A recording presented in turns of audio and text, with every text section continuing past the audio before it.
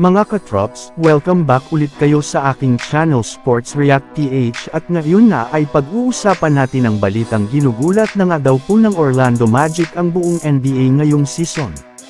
Pag-uusapan na rin nga natin ngayon dito sa ating panibagong video ang balitang naka-jackpot nga daw ang Los Angeles Lakers sa Western Conference.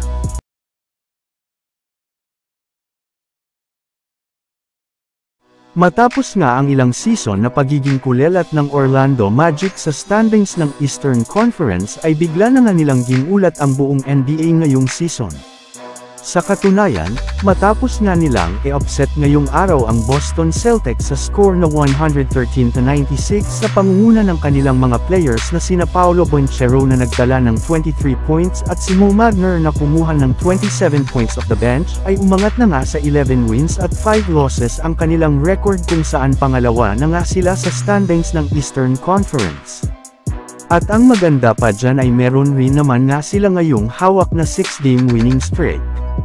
Ilang malalakas na kupunan na rin naman nga ang kanilang natalo at tinambakan ngayong season katulad na lamang ng Los Angeles Lakers, Milwaukee Bucks, Boston Celtics at ang ating defending champions na Denver Nuggets.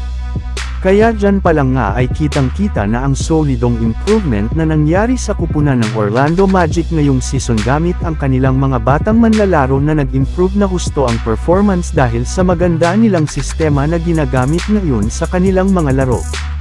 Samantala pumunta naman tayo sa ating sunod na pag-uusapan ngayon sa balitang naka-jackpot na daw ang Los Angeles Lakers sa Western Conference.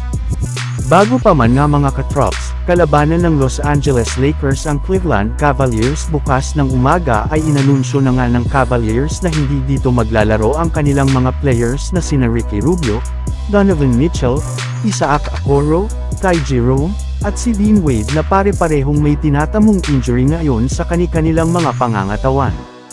Kaya mukhang isang malaking pagkakataon na nga ito para sa Lakers na makuha ang panalo at makaangat pa sa standings ng Western Conference. And speaking of West mga katrops, ngayong araw nga pinagpatuloy muli ng NBA ang kanilang mga laro sa in-season tournament. At dito nga ay nakuha ng Golden State Warriors ang panalo sa kanilang game kontra sa San Antonio Spurs. Kaya buhay pa nga ang kanilang tsansa na makapasok sa knockout stage. Ngunit sa parte nga ng ating defending champions na Denver Nuggets, matapos nga silang matalo sa kanilang game kontra sa Houston Rockets ngayong araw ay tuluyan na nga silang eliminated sa contention sa pagpasok sa knockout rounds ng in-season tournament. Kaya dahil nga dyan ay wala nang ang tsansa pa na makaharap ito ng Los Angeles Lakers sa darating na quarterfinals na mangyayari na sa first week ng December.